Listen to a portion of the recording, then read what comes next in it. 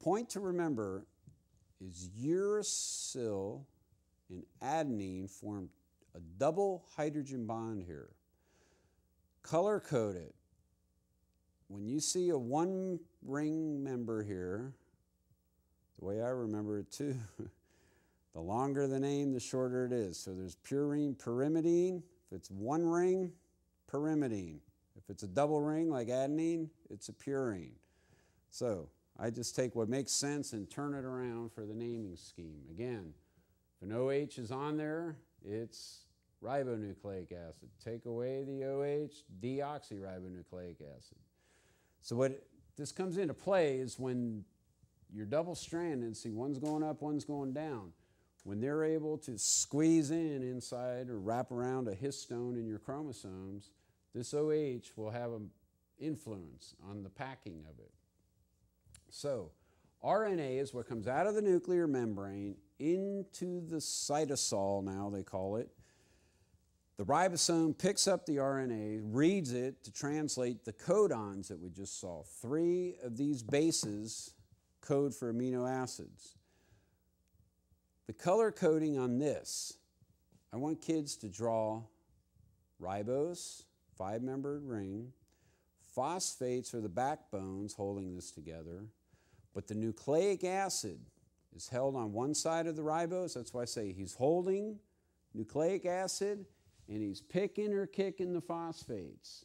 Phosphoflowers, I call them, phosphate flowers. So there's three parts of DNA the nucleic acid, the ribose sugar, the phosphate. So if uracil is going to bond to adenine, double amine, double hydrogen bond here, you need an oxygen with the right space. A nitrogen here is going to give the plus. Now, watch your next one here. Go up to here, here.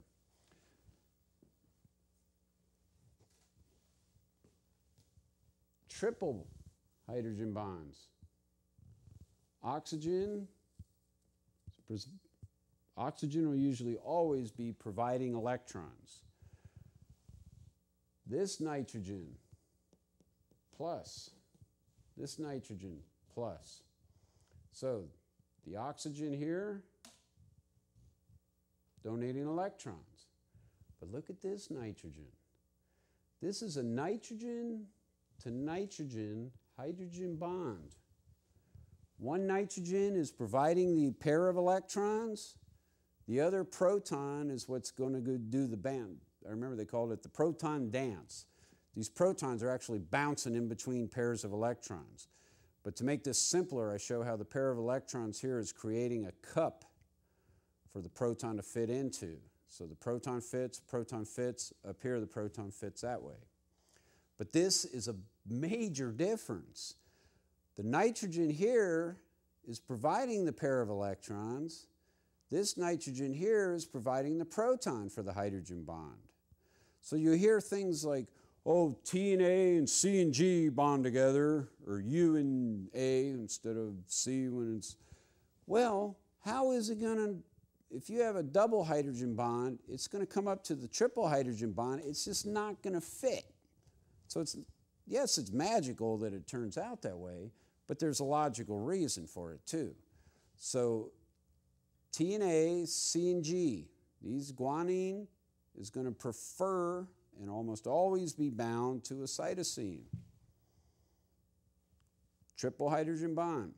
So if we color code these, you'll see that Ricky Ribose, who I usually would,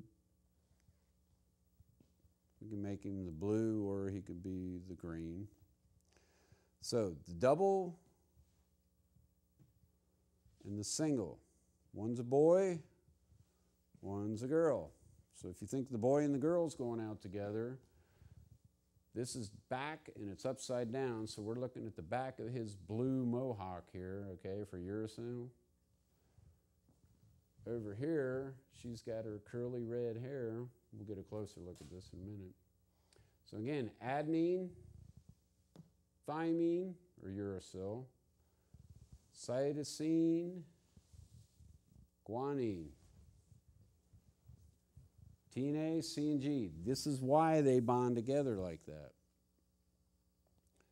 see what else we have here for your enjoyment. We will zoom in on some of this. See if the focus will hold. Is focus going to hold on it?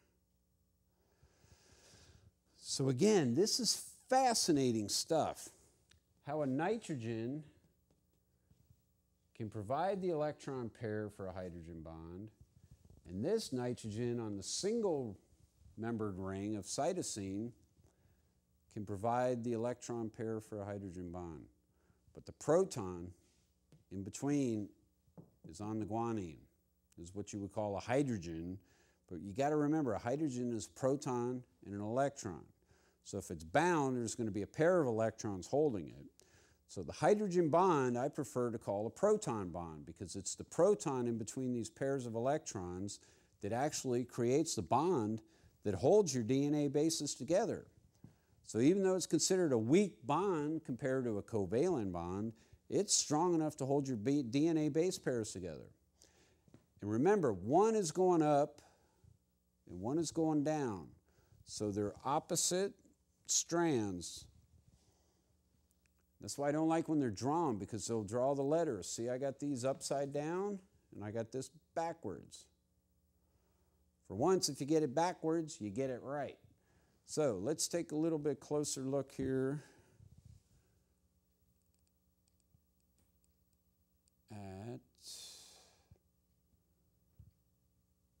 Not going to move sideways here. We got typos everywhere. Now we'll move on.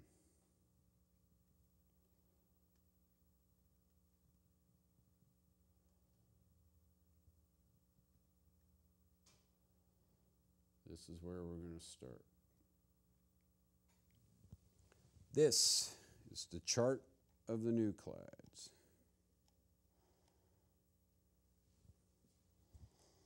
Nicer if this was bigger higher. We're not going to mess with it.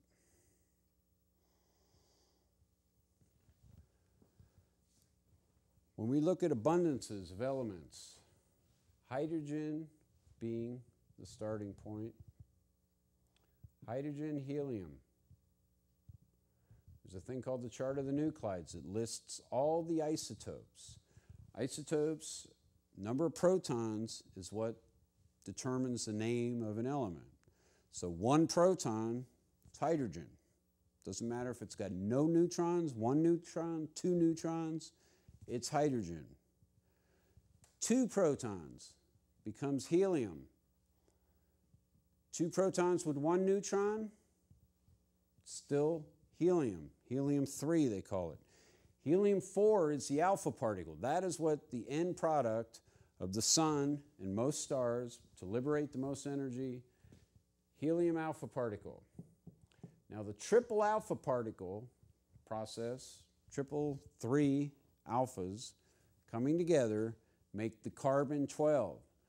The beryllium, two alphas together, is a, sticks together for like a second. So it takes, you got to have another alpha hit it right away to make carbon 12. Now, carbon 12 will be stable. And you got a picture this happening in the core of a lot of stars. Big Betelgeuse, for example, 100 million degrees, 10 times as hot in the core as our sun, is able to fuse three heliums. So the three helium alphas, as we'll start to call them now, because there's no electrons on them. When the electrons are on, that's when it's called an element. Remember, chemistry is the electrons and bonding. So if there's no electrons, we're talking bare nuclei there's other names for it. Deuterium is hydrogen, one proton, one neutron with the electron.